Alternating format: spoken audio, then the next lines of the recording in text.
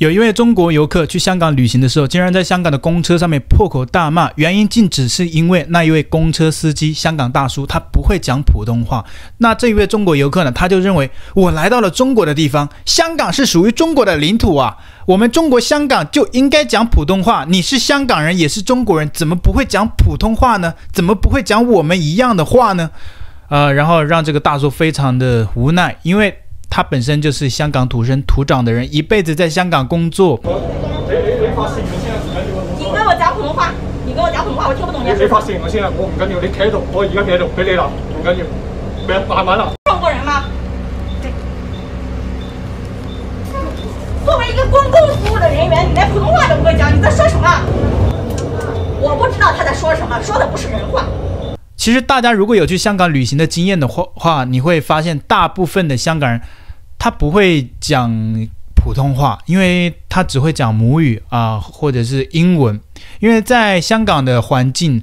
大部分的香港人，他们的母语就是广东话，就像我们中国人，我们的母语是中文普通话。那我们在中国的任何一个省份都可以讲普通话，因为这是我们的母语，对不对？很好理解。但是香港人他的母语跟我们有一些不一样啊，他们就是讲广东话、讲粤语、讲香港话，这是完全不一样的。为什么不可以包容理解一下呢？而且你是去那边旅行，就没有一定让你要求你入乡随俗了，多一点包容不行吗？然后在公车上面跟司机破口大骂，人家。他一天辛苦工作下来，被你一顿臭骂，这样很好吗？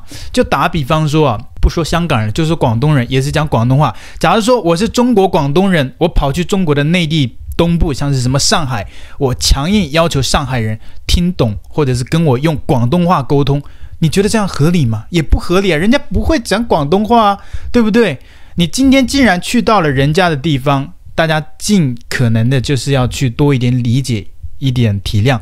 啊，那这一次这个事件呢，其实并不是第一次，过去有太多这种例子，就是中国内地人啊，中国人去到了香港之后呢，就强硬的要求香港人用普通话去跟他沟通。那些中国人的逻辑可能就认为，因为香港也是中国的，我听不懂广东话，我不要你跟我讲广东话，因为这里是中国，这里是中国香港，你要用普通话跟我沟通，这样的逻辑。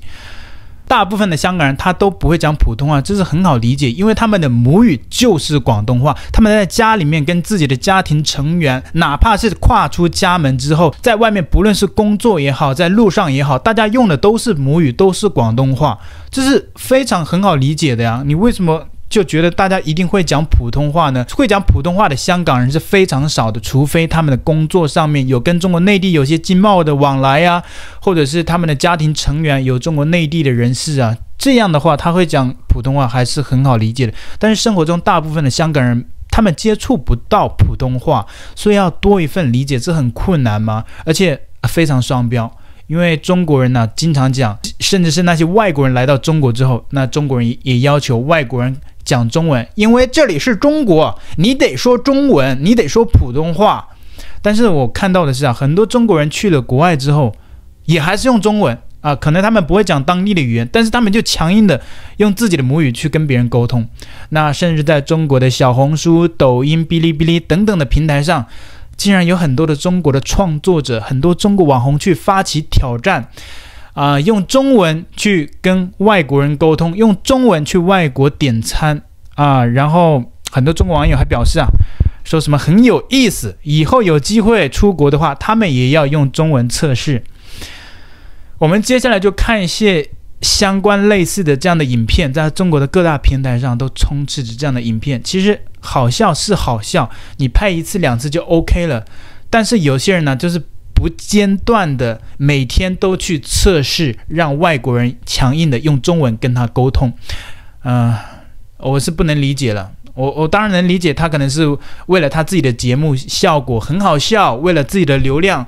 但是你也没有考虑到，别人他本身就不会讲普通话，外国人他不会讲，然后外国人他辛辛苦苦工作一天，然后还要来理解，哎，你这讲的是哪个地方的语言？人家本来就听不懂啊。我们接下来就看一下类似的这样的影片，在中国网络上面。啊，形成了一种风气，一种跟风，大家都互相的在什么美国、在加拿大、在澳洲、在香港、在韩国、在日本、在英国啊，觉得很骄傲。然后全世界的在任何一个国家、任何一个角落的这些华人 YouTuber 啊，不是华人，应该是说中国人 YouTuber，都强硬的用中文去什么星巴克、McDonald's 去讲中文。我看了是觉得一开始是好笑，但是看到他们每天都这这么去做，然后又形成了这个跟风，没有任何人去反思嘛，呃，然后也没有任何网友去指出这样做不太正确，没有，大家都觉得哇，好好笑啊！我们接下来就看一下呃类似的这样影片，随便选几则，看完了之后，我们来再看一下中国网友对此有什么样的看法。有没有打火机 Chinese，No Chinese. 我教你，嗯火机，看看看，Uh, Oh. Lighter? 啊，来对对，就那玩意儿。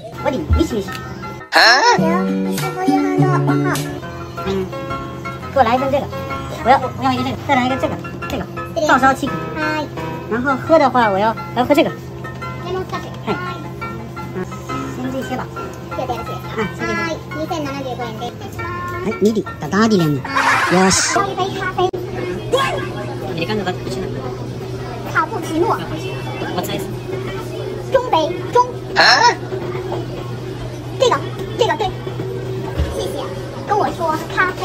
四杯，对，哎，四杯，四杯，one two three four four four，四杯，这个这这这个大的，超大的，来，OK，嗯，有什么喝的？这个，菜的，啊，这个这个，对呀呀呀，呃，中间这个绿色的，哎，哎哎哎哎哎，对对对呀，啊对。绿茶星冰乐，给我来一个。绿茶星冰乐，星冰乐，喂，sorry，这个，OK，啊，对，哎，后头，啊，对，啊，对，呀呀呀？呃，尝试，啊啊，那那米西米西，就它。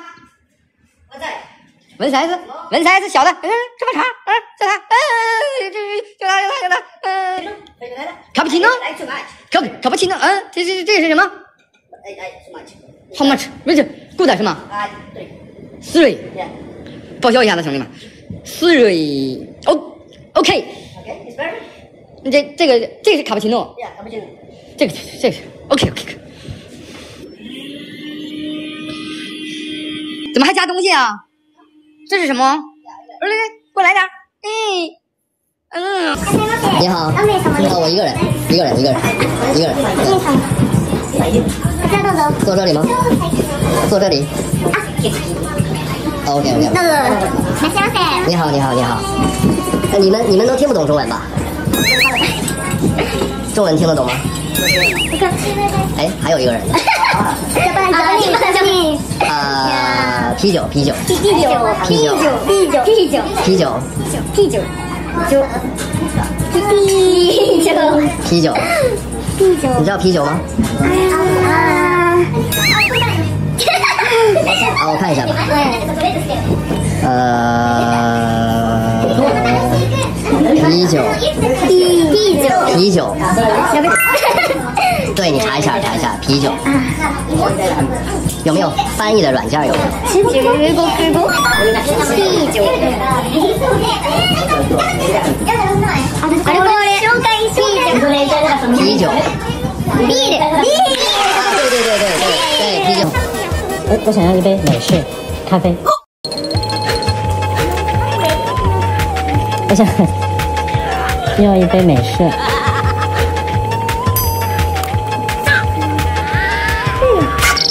脱费。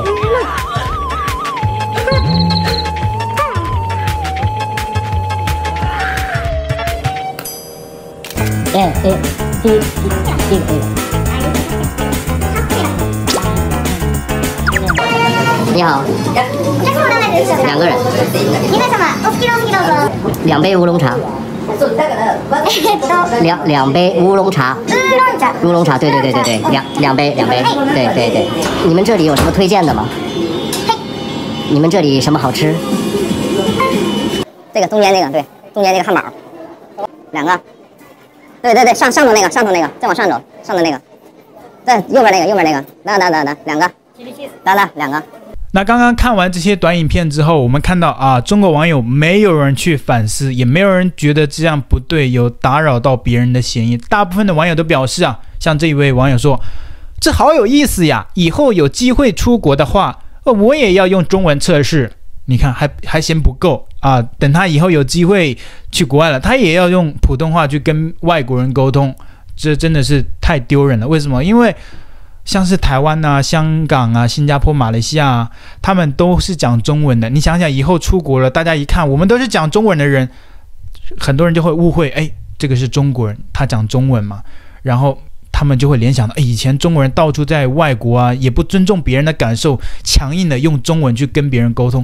其实这些中国网友就是呃，就是在就是在给这些像台湾呐，或者是这些讲同样是讲中文的这些文化圈的我这些人去抹黑啊，去呃增加负面的形象，然后以后出去歧视了，也是因为这些中国人导致的啊，强硬的去跟别人讲中文。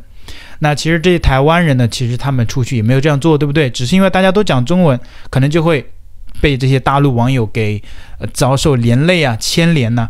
那还有中国网友表示啊，大部分人用中文加手语都能正常沟通，看来以后跟外国人沟通，我们都可以用中文了。中国话逆袭全世界，你这不是逆袭，你这是强迫，这是强迫加上不尊重，好吗？还有人说，哈哈哈，好有趣。看到外国小姐姐尴尬的样子，好可爱，还是我们中文博大精深呐。作为中国人，最大的好处就是不用学中文。每个人有每个人的立场。如果你是一个美国人、英国人，你也会觉得，作为英国人、美国人最大的好处就是不用学英文啊。人家还真的不需要学英文，但是我们呢？我们中国人还需要学英文呢，对不对？他们美国人没有必要学中文呢。你这么讲的话，有点很牵强。什么作为中国人最大的好处就是不用学中文？那每个国家的人都可以说，日本人也可以说，作为日本人最大的好处就是不用学日文。还有扯到什么博大精深，这个跟博大精深有什么关系？还有人说笑死了，把外国人耍得团团转，跟耍猴似的。这就是中国文化强势输出，牛逼！建议这种测试一直拍下去，过不了几年，全世界都会中国化。过不了几年，全世界都会反华的更加严重吧？你这是完全不尊重别人的感受。大家，你只顾着自己感觉，啊，这个影片好好笑，哈，我们的中国文化被强势输出，你这是完全不尊重别人的感受，好吗？哎，其他的中文地区的网友对此有什么看法？像是新加坡、马来西亚、台湾的，大家都是讲中文的，你们对此有什么样的看法？你觉得这是把我们的文化强势输出了吗？还是有什么其他的看法？欢迎在留言区跟我们一起来互动分享，谢谢，拜拜。喜欢我的频道，请记得帮我按赞、留言，一定要开启小铃铛哦。另外，你可以透过加入频道会员以及影片下方的超级感谢，包括不略过广告、观看一遍赞助频道。你的中国好朋友陈老师，我们下期见。